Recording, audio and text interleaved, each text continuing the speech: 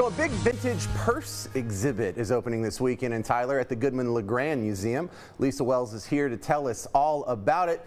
Vintage purse, how old are we talking? Is We're talking mid 1800s. Okay. Um, early 1900s. So the collector is Carolyn Blackstone.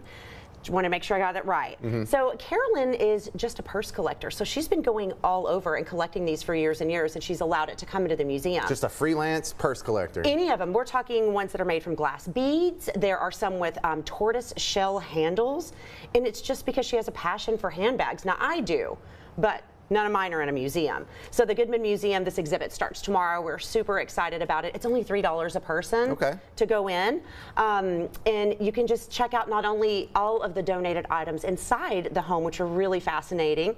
Um, the home was donated to the city in 1940, I believe, is what the year is. And so with that, um, you not only get to see the purses, but you also get to check out all the items in the home. But for three dollars to get out of well, hopefully with the heat that's leaving, you know, three bucks to go into the museum and check out the vintage handbags. And some of these bags are from Germany, from Italy. Now I don't know the back back story, so I don't know Right. if Carolyn was going to like flea markets or just traveling the world and went, hey, here's a cool bag. You know, I'm going to ship it back with me. Um, but anyway, it's just going to be a really cool exhibit. It goes to October 7th, starts tomorrow morning. Our museum opens at 10.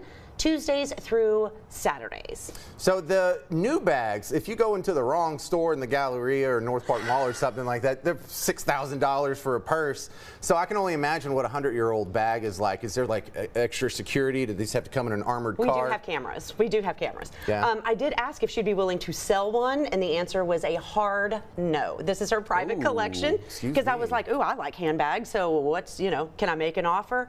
No. She does enjoy her collection. I believe we have over 25 bags, vintage bags. Okay, but that like are throughout the house. Louis Vuitton, Chanel, all these people didn't exist in the 1800s. Do we even know what the brand name is, or is everyone like some artisan who handcrafted? That's the thing is I, I'm not 100% sure about that. I would like to, in my mind, think it's some artisan that was just, you know, super crafty. She said she loves to collect them because she it can only imagine where what events or functions that they actually went to because there's some really really great bags. See, now I think it'd be cool to have uh, a handbag that's like connected to a piece of history. Like when they had Yes. the Catherine the Great exhibit, and you saw the one that she had, it was like made of gold thread or whatever. Yeah, that would- that it would was be like at a flapper cool. bar somewhere, you know, and carried around. And um, so I'm sure she has maybe some history on these, but she's just a private collector and she has a passion for bags. All right, on a normal weekend, what's going on at the Goodman LeGrand house? Oh goodness, we do arts and crafts fairs. We have plant sales. We have. Um, there are so many things going on at the Goodman. You can also do a mystery murder dinner at the Goodman LeGrand. Ooh, we I love host, that. We host those often. Actually, Um, wife loves that. It's a lot of fun. So um,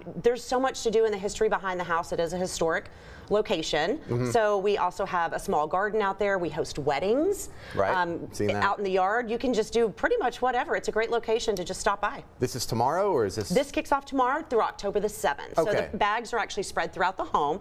So that's it. Go on over, check them out. It's all in the bag, pun intended. Oh, Lisa, you're off the show now. For more on the exhibit, tylerparksandrec.org. tylerparksandrec.org. Thank you, Lisa. Thank you Except so for the pun, much.